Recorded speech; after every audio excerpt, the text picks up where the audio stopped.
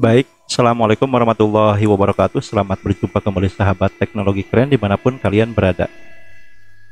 Oke guys, pada kesempatan kali ini saya akan memberikan tutorial ke kalian cara menggunakan opacity di Filmora X atau Filmora 10.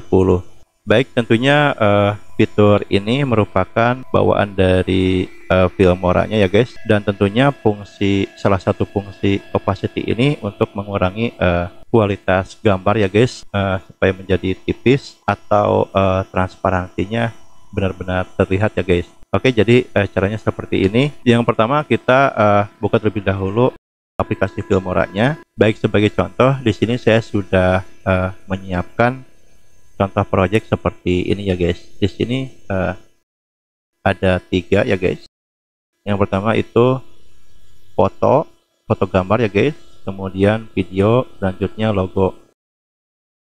Nah, sekarang kita uh, tarik dulu ya guys ke timelinenya. Baik, uh, yang pertama kita akan mengurangi opacity-nya untuk gambar yang ini ya guys. Jadi caranya kita cukup mengklik dua kali ya guys pada projectnya. Selanjutnya muncul menu compositing ya guys. Baik, kemudian di sini terdapat menu opacity Nah, di sini terlihat di angka 100% ya guys. Artinya full. Untuk mengurangi opacity-nya, kita tinggal digeser ke sebelah kiri. Oke, seperti ini. Silahkan kalian untuk menyesuaikan ya guys. Nah, supaya terlihat ini menjadi transparan, tipis ya guys gambarnya.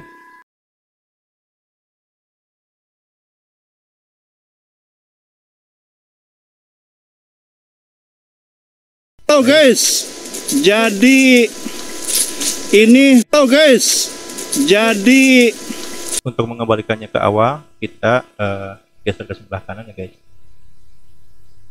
Oke, sudah kembali ke awal ya guys, jadi full. Baik, nah ini jika uh, seperti ini opacity-nya di angka 100%, ini dapat menghalangi gambar di belakangnya ya guys. Oke, kita perkecil. Nah, jadi tetap terhalang ya guys. Nah, biasanya opacity ini digunakan pada logo ya guys. Ini logonya.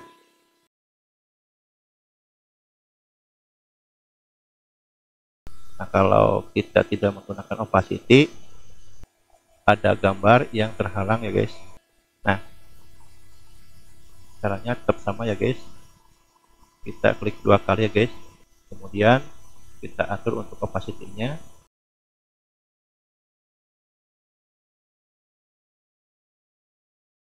biasanya saya pakai di angka eh, 5 ya guys di angka 5 persen kemudian kita klik OK. Jadi untuk gambar di belakang logo pun tetap aman ya guys. Tetap terlihat.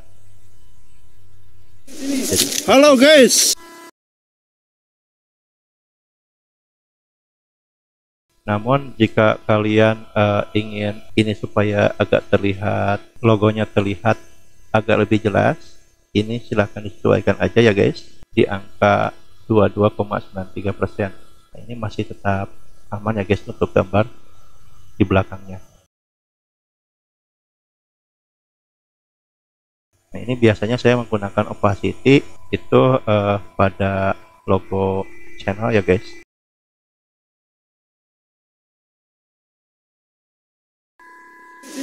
Halo guys, jadi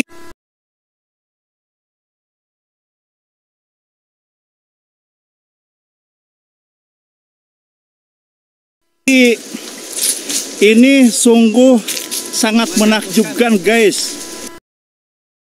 Baik, jadi seperti itu ya guys, cara menggunakan opacity. Semoga video tutorial ini dapat memberikan manfaat. Dan apabila kalian suka dengan video tutorial ini, silahkan untuk mengklik tombol like, subscribe, dan komen ya guys. Baik, dan saya akhiri dengan kata wabillahi taufiq wa hidayah. Wassalamualaikum warahmatullahi wabarakatuh.